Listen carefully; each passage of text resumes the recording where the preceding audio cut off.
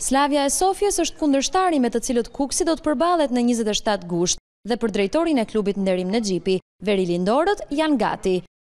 Në Top Channel ai bëri një analizë të rivalëve, por nuk u kursye të fliste as për situatën në skuadrën e tij.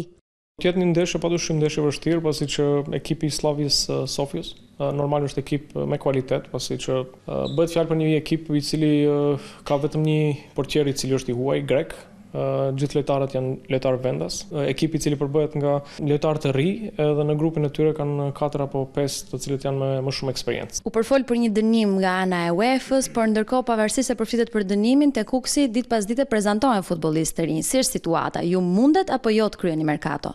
Ta them të drejtën jam pak i mërzitur me gjithë këto lajme që po dalin kohën e fundit. Nuk kemi problem me merkaton, këtë e kemi treguar edhe gjatë kësaj periudhe sepse na janë janë afruar lojtarë të ri, të cilët gjithë opinioni të enjten do t'i shef që nga minuta e para dhe për këtë gjë nuk e di se pse shkruhet.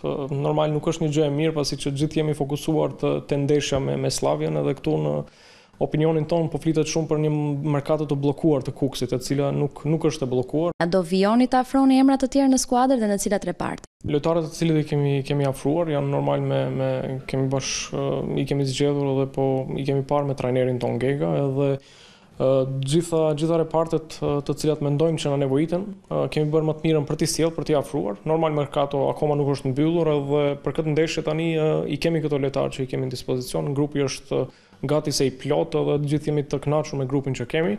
Nderim, ditën që Safet Gjici pranoi se do të afronte në skuadër trajner Orges Shehin, tha që në rast se nuk del kampion, do të largohet nga skuadra dhe ashtu ndodhi. A ka një vendim nga ana e presidentit apo e klubit edhe për Skënder Gegën? A varet fati i tij nga ndeshjet e Europës apo është një projekt afatgjatë? Me trajnerin Gega normal, kemi filluar një epokë të re dhe shpresojmë që të gjithë do të jemi do të bëjmë më të mirën dhe të jemi sa më të suksesshëm. Pastaj Gjithë e dimë se puna e çdo njërit varet nga rezultatet edhe nga sukseset.